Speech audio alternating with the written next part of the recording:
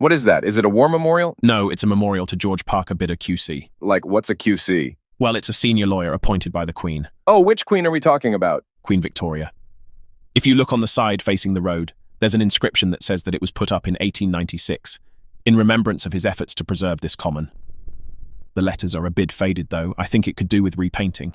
Anyway, I'll tell you the story if you want. Okay, go ahead. I'm actually fascinated, you know. In the 19th century, a number of people were going on the common and digging up gravel. Oh, really? What for?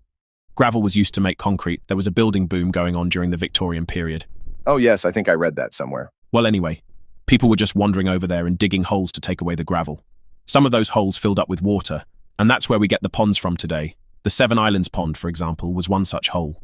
People also dug up turf and cut down trees. Turf? Like, what was the turf used for? It could be burnt for fuel. Well, local people got quite annoyed by this.